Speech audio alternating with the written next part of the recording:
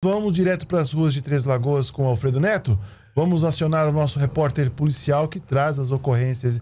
Alfredo, tá contigo aí, meu irmão. O vizinho acabou ali ficando nervoso com alguma coisa, pegou a picape, foi até o portão da entrada desse condomínio e começou ali de ré a bater no portão até derrubar o portão.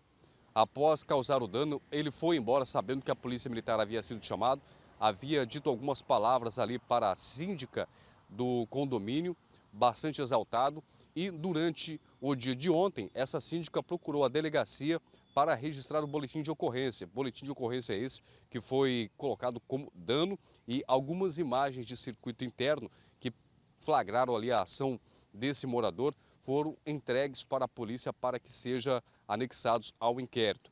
A Polícia Civil abriu o um inquérito investigativo e vai convidar esse morador de 35 anos para que ele possa prestar depoimentos e dizer por qual motivo que ele acabou perdendo a paciência, ficando nervoso e usando o veículo, derrubou ali o portão de entrada desse condomínio fechado no final da noite, começo de madrugada, de segunda para terça-feira, aqui em Três Lagoas, Israel.